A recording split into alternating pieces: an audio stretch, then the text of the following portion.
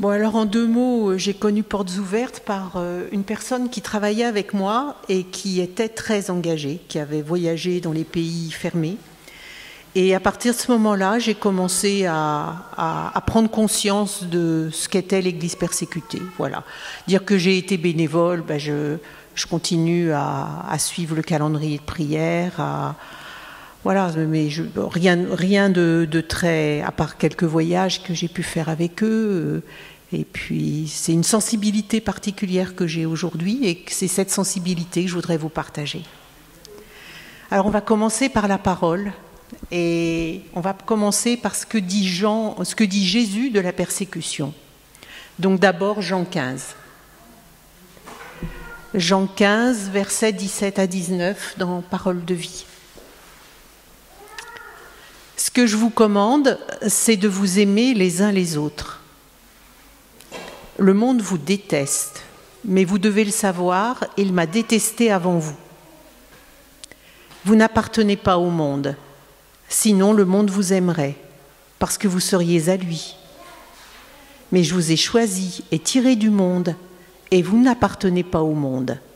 C'est pourquoi le monde vous déteste. Et maintenant, le verset... Euh, voilà, je vous ai dit cela, pour que par moi vous ayez la paix. Dans le monde, vous allez souffrir, mais soyez courageux, j'ai vaincu le monde. Et maintenant dans l'évangile de Marc. Mais vous, écoutez bien ce qui va vous arriver. Des gens vous livreront aux tribunaux, on vous frappera dans les maisons de prière, on vous conduira devant des gouverneurs et des rois à cause de moi.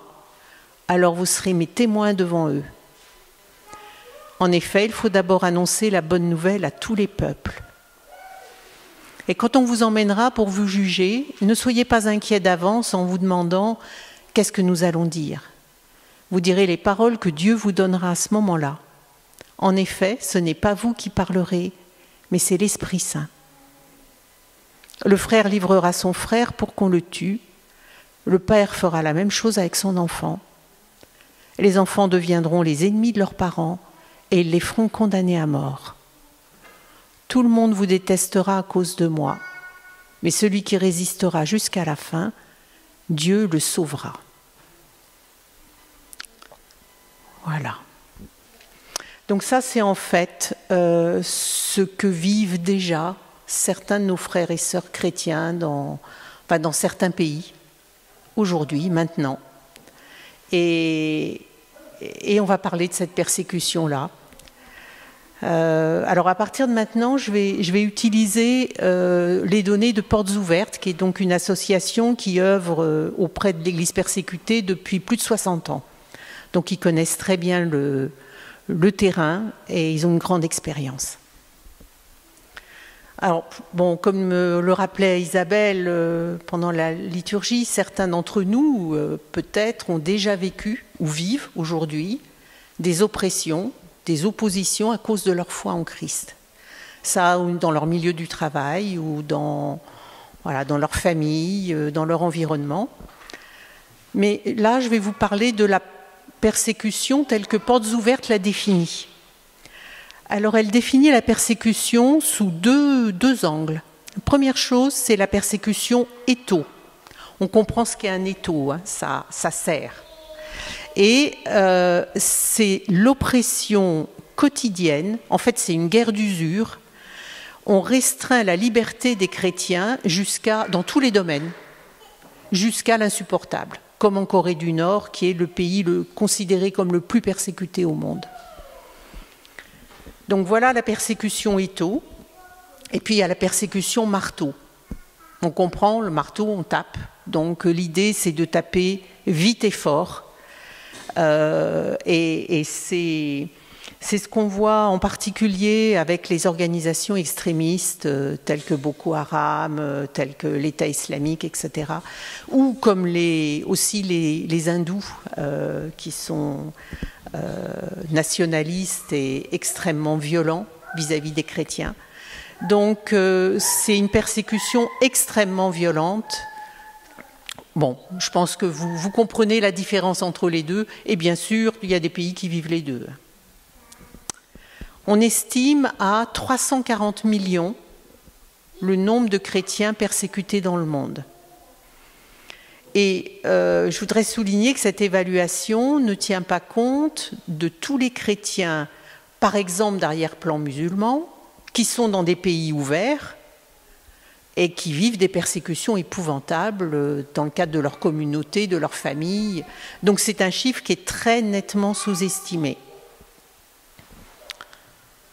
Alors, pour illustrer ce que je viens de dire, euh, j'ai choisi quatre exemples parmi beaucoup d'autres. Euh, bien sûr, les noms qui seront cités, c'est toujours des pseudos, et on comprend pourquoi. Alors, le, premier exemple, c'est l'Algérie, et là, je reprends un communiqué dans le dernier magazine de Portes Ouvertes qui nous dit euh, Trois églises protestantes de la région d'Oran ont vu leur fermeture administrative devenir une triste réalité avec leur mise sous scellé le 7 juillet dernier venant s'ajouter à 13 autres. Depuis novembre 2017, il faut une autorisation avant d'utiliser un bâtiment pour un culte non musulman. Et les autorités nationales n'ont répondu à aucune demande d'autorisation depuis 2006. Donc je vous laisse deviner la liberté de culte, l'évolution de la liberté de culte en Algérie. C'est tout près l'Algérie. Au Nigeria maintenant. Donc voilà l'histoire du pasteur Jérémia. Son village a été attaqué en avril 2020 et cette attaque fait partie d'une vague de violence contre les agriculteurs et les communautés chrétiennes. Euh, cette violence est perpétrée par des bergers peuls qui sont en fait des extrémistes islamistes qui sont armés jusqu'aux dents et qui débarquent comme ça dans les villages et qui voilà. Jérémia est l'un des nombreux chrétiens du Nigeria qui risquent leur vie chaque jour pour vivre leur foi en Jésus. Malgré cette terrible attaque, il continue de guider les siens vers l'espoir, en leur rappelant qu'ils ont survécu par la grâce de Dieu et que le Seigneur a toujours des projets pour eux, en particulier des plans pour rendre gloire à son nom il dit, nous devons rendre gloire à Dieu, il est vivant et il nous aidera. Même si nous mourons, nous sommes dans les mains de Dieu. Alors maintenant, on parle de la Chine. Donc en Chine, euh, les méthodes de persécution se sont modernisées. Alors imaginez par exemple que vous assistez à un culte par Zoom, chez vous, puis le lendemain, on vient vous passer les menottes. Donc ça, ça s'est passé euh, l'année dernière après un culte de Pâques. Euh, ça s'est passé pour l'instant une fois, mais on sait que ça peut se reproduire.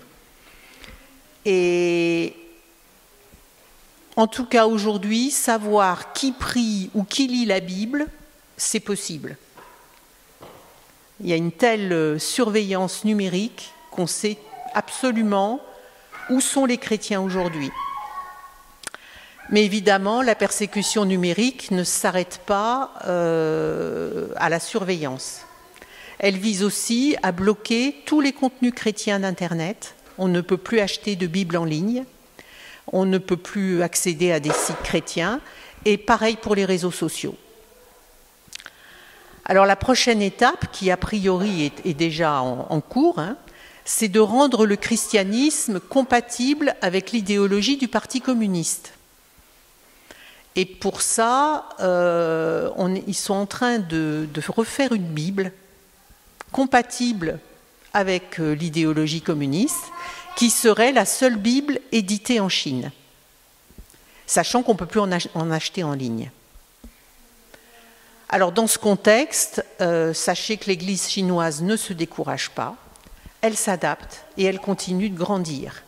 Et aujourd'hui, on estime à 100 millions de chrétiens en Chine, pour vous donner un ordre d'idée, je crois que c'était de l'ordre de 700 000 chrétiens en 1949, avant l'arrivée du Parti communiste. Donc vous voyez, de 700 000, bien sûr la population a augmenté entre-temps, mais enfin quand même, passer de 700 000 à 100 millions, voilà, c'est, quand même euh, extraordinaire de voir euh, ce qui se joue. Et on va finir par l'Iran, quatrième exemple en Iran. L'Église iranienne, c'est celle qui grandit le plus au monde, malgré ou à cause d'une très forte persécution. L'intransigeance des, ayatollahs, en fait, euh, pousse les musulmans dans les bras de Jésus.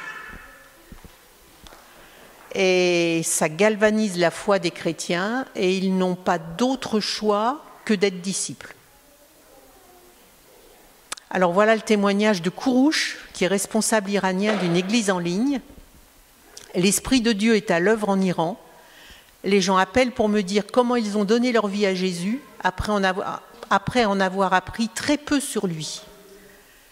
Mais ce qu'ils savent ou ressentent de lui est si fort qu'ils ont tout donné pour se rapprocher de lui.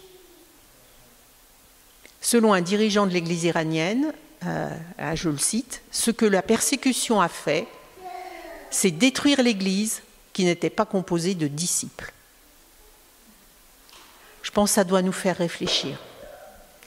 Donc avec tous ces quatre exemples, en fait, nous constatons que le royaume de Dieu avance et que l'avancée se fait dans l'opposition. Et ça, ben, c'est ce que Jésus nous dit. Alors maintenant, en quoi ça nous concerne à Sergi? Parce qu'on peut dire on est loin et en fait, quand on prend conscience de cette réalité de l'Église persécutée, parce qu'on lit ou on écoute des témoignages, euh, on voit des vidéos, ils sont si loin, mais ils sont si proches, euh, ça secoue et ça questionne. Et franchement, c'est perturbant. Et on peut se poser deux types de questions. Par exemple, c'est oh, qu'est-ce que je ferais à leur place? Ou bien euh, pourvu que ça m'arrive jamais. Mais au fond, euh, ces témoignages, euh, c'est comme la parole de Dieu, c'est un révélateur.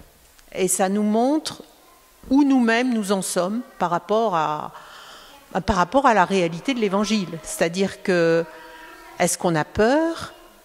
Quelle est notre théologie? Où en est notre foi? Voilà. Donc, je pense qu'il faut prendre ça comme ça et, ne pas avoir peur d'être confronté à l'Église persécutée, au contraire. Ils ont beaucoup à nous enseigner, beaucoup. Et voilà, moi je propose qu'on détourne nos regards de nous-mêmes et, qu'on les dirige vraiment à la fois vers le Seigneur, sa parole, et aussi vers nos frères et sœurs euh, persécutés et parce qu'en fait, ils ont besoin de notre soutien. Alors comment peut-on les soutenir? Euh, bah, Quand on peut, on peut les soutenir financièrement en soutenant ceux qui les aident euh, sur le terrain. Quand c'est possible, on peut aller les visiter.